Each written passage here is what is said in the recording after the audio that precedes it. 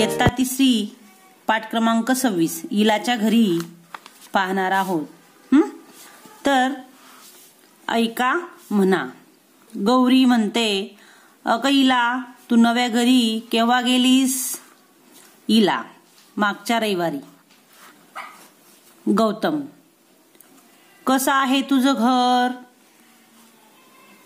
इला छान आहे. उद्या रविवार आहे. मी पत्ता सांगते. तुम्ही उद्याच या माझ्या घरी.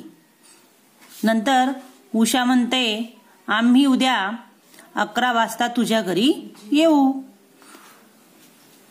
नंतर अंकिता म्हणते अय्या इला कसलं हे तुझं घर? ही तर उंच इमारत आहे. अंजू आणि इमारतीभोवती छान फळबाग आहे.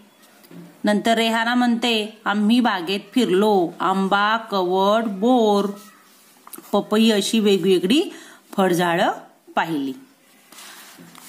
इलाची आई मुलांनो तुम्ही आमच्या घरी आलात. गोड गोड खाऊ खा. माठातलं गारगार पाणी प्या. खेळा मज्जा करा. मग मुलं थोडा वेळ खेळतात. गौरी इला काकू येतो आम्ही सर्वजण. वा आजची सुट्टी मजेत गेली. तर विद्यार्थ्यांनो तुम्ही सुद्धा तुमच्या मित्रांच्या घरी जात असतात हां? तर आपल्याला जेव्हा सुट्टी असते तेव्हा आपण मित्रांच्या घरी जात असतो. तर या पाठामध्ये इलाच्या मैत्रिणी सर्व मित्रमंडळी तिच्या घरी आलेल्या आहेत. तर कोणत्या वारी? तर रविवारी हे आलेल्या आहेत.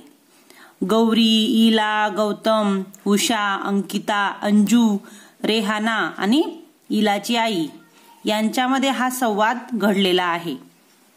ओके? तर वर्गामध्ये आपण हा संवाद बोलूयात. हा? म्हणजे एक जण गौरी बनेल नंतर इला गौतम उषा अंकिता आणि रेहाना अंजू हे वेगवेगळे पात्र बनतील. आणि बरोबर हा संवाद आपण वर्गामध्ये करूयात. तर गौरी अग इला तू नव्या घरी केव्हा गेलीस? म्हणजेच इलाला म्हणते इला काय म्हणते मग मागच्या रविवारी? मागच्या रविवारी ना आम्ही आमच्या नव्या घरी गेलोत. त्याच्यानंतर तिचा जो मित्र आहे गौतम तो म्हणतो कसं आहे ग तुझं घर? मग इला म्हणते छान आहे. उद्या रविवार आहे. मग रविवारी आपल्याला सुट्टी असते की नाही? शाळेला पण सुट्टी असते. मग मी पत्ता सांगते तुम्ही उद्याच माझ्या घरी या. असं कोण म्हणतंय? इला म्हणते कोणाला म्हणते? गौरी आणि गौतमला म्हणते ती. या माझ्या घरी सगळेजण. तर या नजीकच्या चित्रामध्ये पहा बरं. ही काय आहे? उंच इमारत आहे. तर ही उंच इमारत पाहून अंकिता काय म्हणते? अय्या हिला कसलं हे तुझं घर? किती सुंदर घर आहे ना इतका हे घर आहे का? इथं उंच इमारत आहे हा? हे पा इथं. तर हे सगळेजण पत्ता शोधत शोधत इलाच्या घरापर्यंत आलेले आहेत. दिसतंय सगळ्यांना चित्रामध्ये? गौरी नंतर गौतम उषा अंकिता अंजू आणि रेहाना. कोणाच्या घरी? इलाच्या घरी. तर अंजू काय म्हणते? आणि इमारतीभोवती छान फळबाग आहे. फळांची बाग दिसते का तुम्हाला? हे पा इथं या ठिकाणी. अंजूच्या इमारतीभोवती काय आहे? फळांची बाग आहे. नंतर रेहाना काय म्हणते?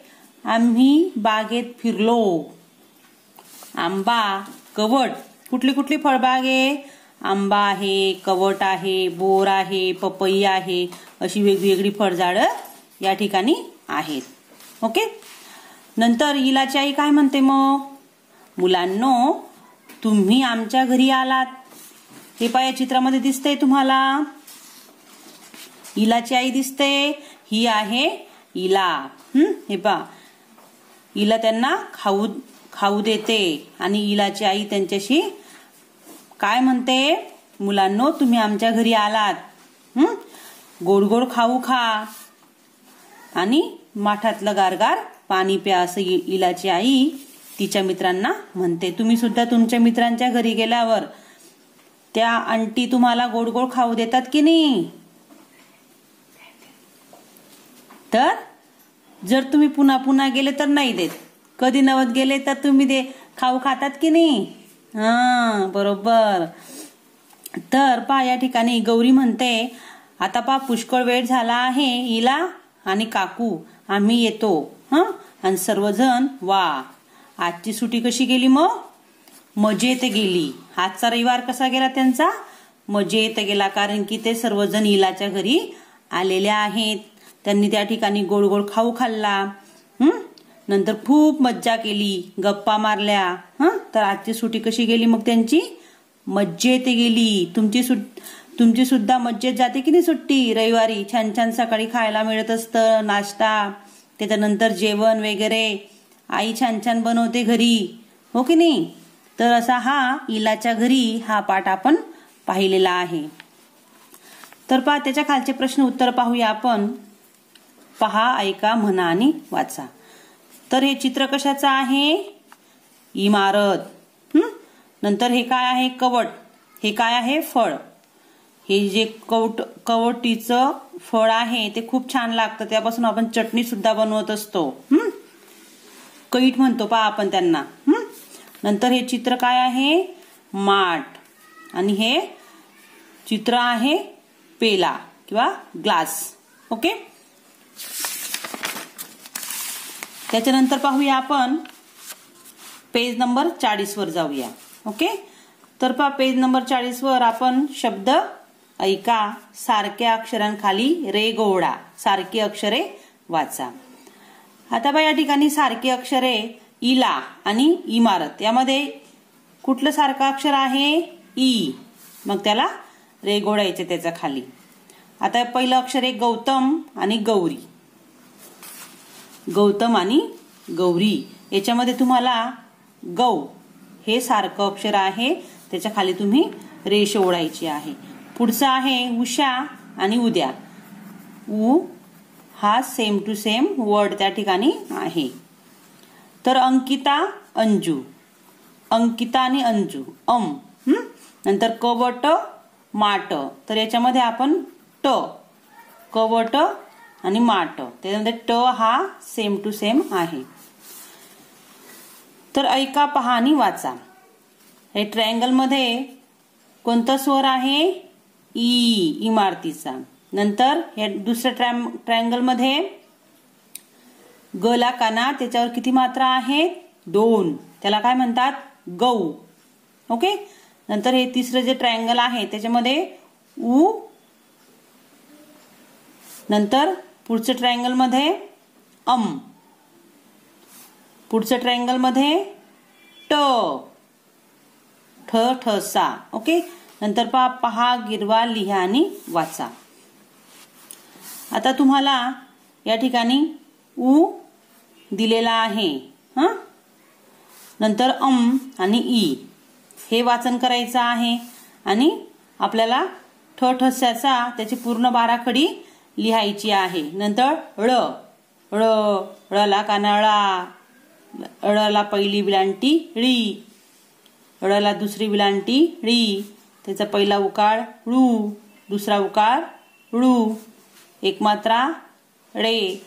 दोन मात्रा रई नंतर अशा प्रकारे ही बाराखडी अडमपर्यंत पूर्ण करायची.